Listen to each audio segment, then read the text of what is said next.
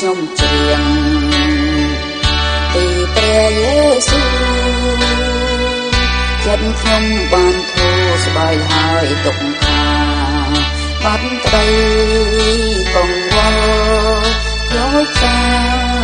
ព្រោះលោកដែលពេញដោយក្តីវិញ្ញាណ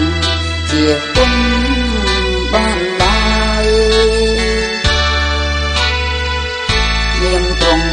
សោបើខ្ញុំចំណាយមេរួងតាលើនាមព្រះអង្គហើយ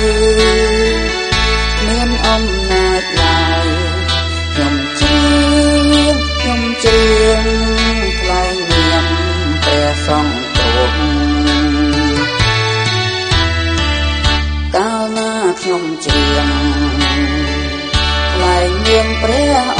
ប្រ កាត់សេរីអអង្ចា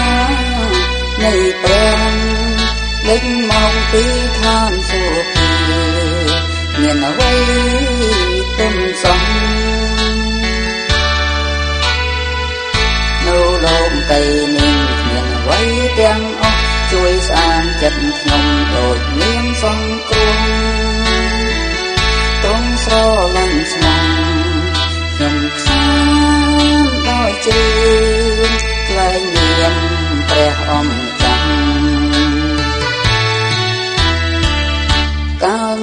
ខ្ញុំច្រៀងលើកនាមអូដំទ្រង់នាំមុខខ្ញុំច្រៀងបទមួយថ្មីទេវតាប្រគំត្រឹមត្រូវតែនឹងដែលជារបស់លោកីមិន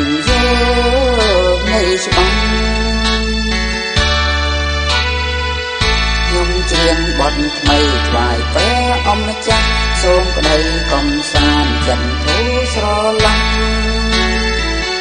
ដោយរត់ដែលចាំជួយខ្ញុំឲ្យជ្រៀង